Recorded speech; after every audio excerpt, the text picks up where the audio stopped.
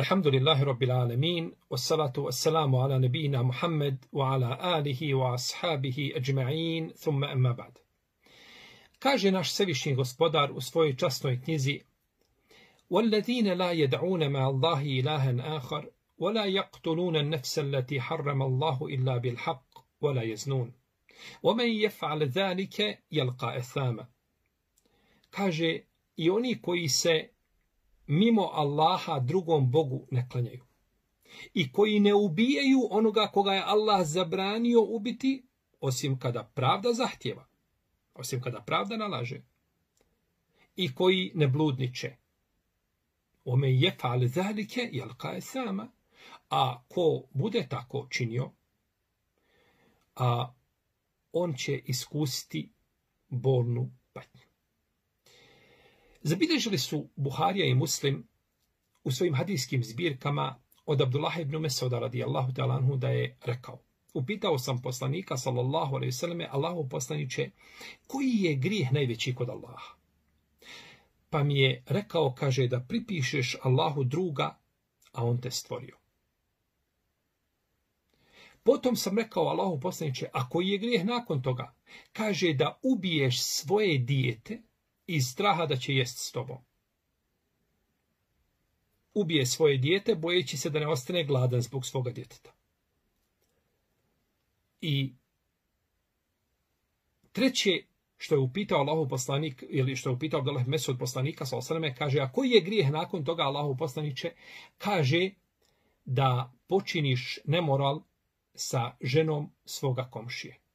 Da počiniš nemoral sa ženom svoga komšije. Potom je uzvišeni Allah kao istinitost značenja ovoga hadisa objavio ajet u kome kaže i oni koji se ne klanjaju drugom Bogu mimo Allaha i koji one koje Allah zabranio ubiti ne ubijaju, osim kada pravda zahtjeva i koji ne čine nemoral. U ovom hadisu su naime spomenuta tri, tri velika grija. Širk, kao kruna svih velikih grijeha, nema većih grijeha od širka. I ne može jedno društvo očekivati prosperitet tako u njemu ima širka. A drugi grije jeste da čovjek ubije vlastito dijete kao što su činili pagani. Iz straha da će biti gladan zbog svoga djeteta. I treće, da počini nemoral sa ženom svoga komšije. Tri grijeha koja kada se pojave u jednom društvu, to je društvo izazvalo Allahu srđbu na sebe. I zabilježili su Buharija i Muslim od Abdullaha ibn Abbas radijallahu anhuma da je poslanik sa osreme ili kaže Abdullah ibn Abbas da su neki mušici ubijali ljude i u tome su pretjerivali i činili su blud i u tome su pretjerivali. Pa su došli poslaniku sa osrme i pitali za, za uh, otkup. Kažu, to je lijepo o Muhammede što ti pričaš i u šta pozivaš. To je odlično. Međutim, kaže, obavijesti nas, postoji li za nas iskup? Mi smo radili svega isto čega, možemo se mi iskupiti. Pa je uzvišen Allah objavio i oni koji mimo Allaha drugom Bogu se ne klanjaju, i koji ne ubijaju one koje Allah zabranio ubiti osim kada pravda nalaže i koji ne čine nemoral.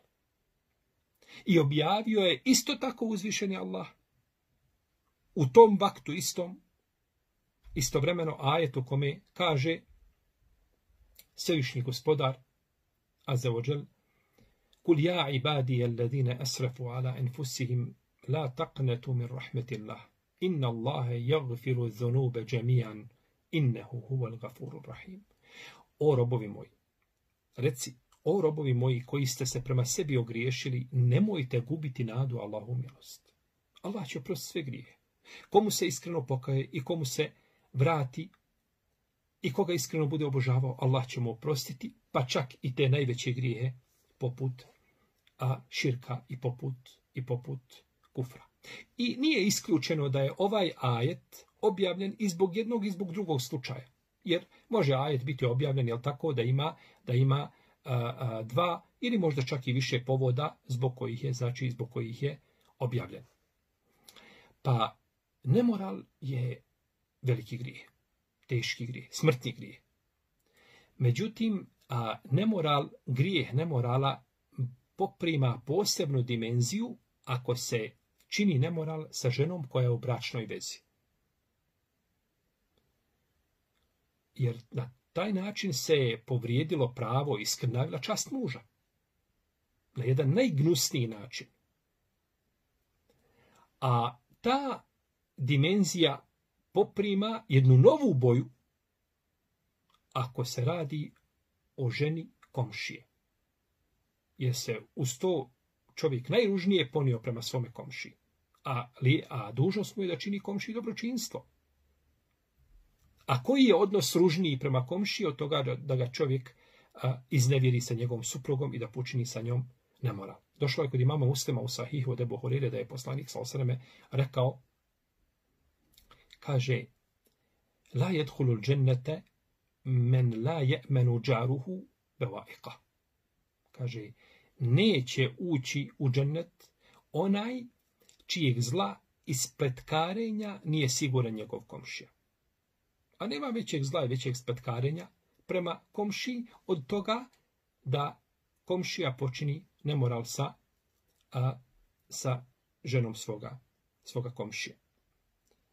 Pa je ovdje poslanik Saloseleme ovim hadisom, zbog koga je objavljen ajet u suri Al-Furkan, ukazao na grijehe koji ruše jedno društvo i u isto vrijeme ukazao čega se jedno društvo treba čuvati da bi došlo, da bi došlo do svoga, do svoga prosperiteta. On je stvoritelj te bar da nas uputi na ono što je najispravnije, da nas pouči našoj vjeri sunnetu poslanika, sallallahu alaihi wa sallame, wallahu ta'ala a'lam, wa sallallahu ala nebina Muhammed, wa ala alihi wa ashabihi ajma'in, wassalamu alaikum wa rahmetullahi wa barakatuh.